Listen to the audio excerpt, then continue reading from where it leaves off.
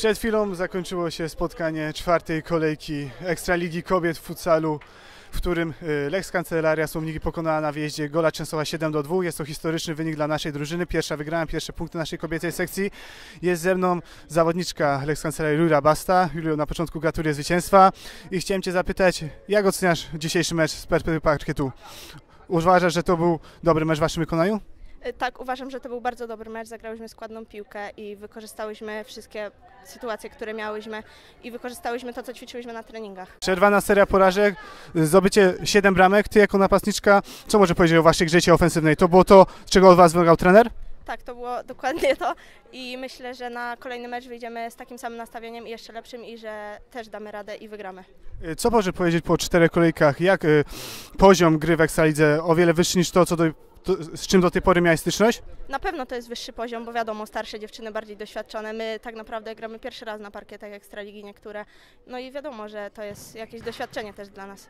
Jak podejdziecie do meczu z Jotem? To jest wicemistrz Polski, ale rozumiem, że nie przestraszycie się rywalek. No nie przestraszymy się, musimy walczyć i myśli, myśli, my, wychodzimy z myśli, że wygramy. Dobra, dziękuję. Leć do szatni, cieszę się z zawodniczkami. Dziękuję. Y, Drugim moim dzisiejszym gościem jest asystent trenera Miłosz Kocot. Panie trenerze, gratuluję wygranej. W końcu przełamana klątwa, tak jak już rozmawiałem wcześniej z Julką Bastą, wyników 2 do 3. Spokojna wygrana 7 do 2. Czy wyegzekwowały zawodniczki to, co zleciliście w szatni?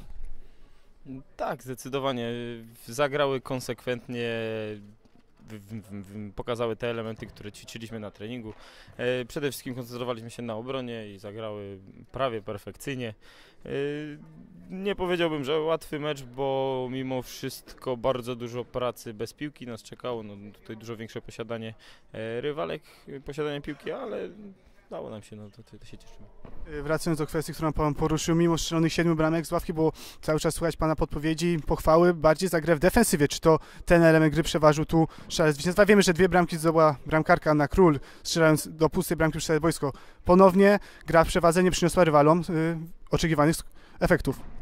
Znaczy co do bramki, bramek e, Ani, to śmiałem się tutaj na ławce, że ja przez całą swoją przygodę, nie wiem czy dwie bramki strzeliłem e, w przewadze i się udało. E, tak, a, a tak już, a tak wracając do tego, no chcemy, żeby dziewczyny, chcemy nauczyć dziewczyny grać e, w futsal, chcemy pokazać im o co chodzi w ogóle w tej dyscyplinie, więc e, pracujemy, a że uważam, że należy zacząć od podstaw, od dobrego zorganizowania w defensywie, no to to dzisiaj pokazaliśmy. Na pewno mamy jeszcze spore braki, jeśli chodzi o grę w ofensywie, w ataku pozycyjnym, bo dziewczyny naprawdę mają bardzo duże umiejętności, aczkolwiek nie są w stanie jeszcze tego, e, tego wykorzystać, ale mam nadzieję, że krok po kroku już w nie, w drugiej rundzie będą w stanie pokazać y, coś więcej, chociaż tak jak tutaj mm, było widać w poprzednim meczu w Rybniku, no naprawdę bardzo fajnie, no dobrze to wygląda i mam nadzieję, że, że, że, że tak zostanie.